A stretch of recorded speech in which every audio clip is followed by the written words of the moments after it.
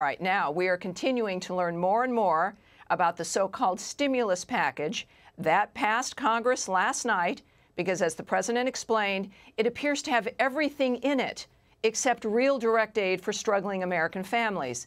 The 5,500 page, $2.3 trillion omnibus package includes things like establishing two new branches of the Smithsonian Museum creating national standards for the horse racing industry, and making illegal streaming a felony.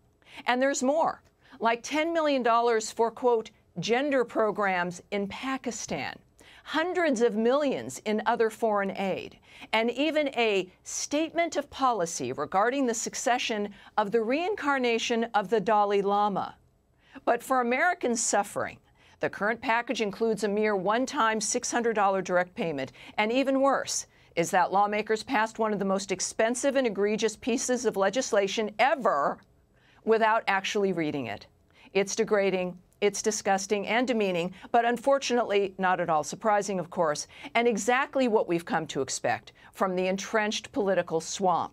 Just listen to Congresswoman Tulsi Gabbard and Senator Rand Paul explaining their opposition. Take a look. Hey, everybody. I just got back from having voted on the House floor on this massive spending bill. I voted against it, and I wanted to tell you why. First of all, this bill was over 5,500 pages long.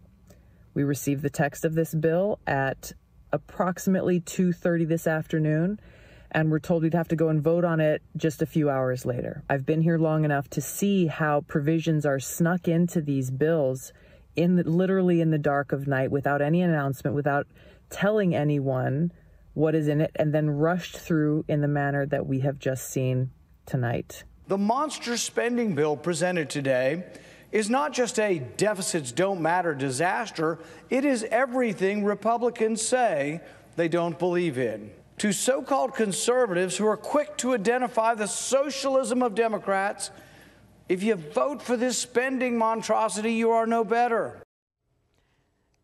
Now, Congressman Andy Biggs echoed those remarks, tweeting, quote, after days of backroom negotiations and only a handful of hours to read the 6,000-page legislation, the House passed the omnibus and COVID-19 spending bill tonight. Congress continues to fail the American people and bankrupt our grandchildren's future. Now the bill is so bad that it's bringing together Senator Ted Cruz and Congresswoman Ocasio Cortez in opposition to the bill. And get this. The backlash is so severe that it's causing Democrats to lose faith in their own leadership. Maybe it's about time. As a new poll released this morning finds that just a slim majority of Democrats want Pelosi to stay on as Speaker. So let me be clear here.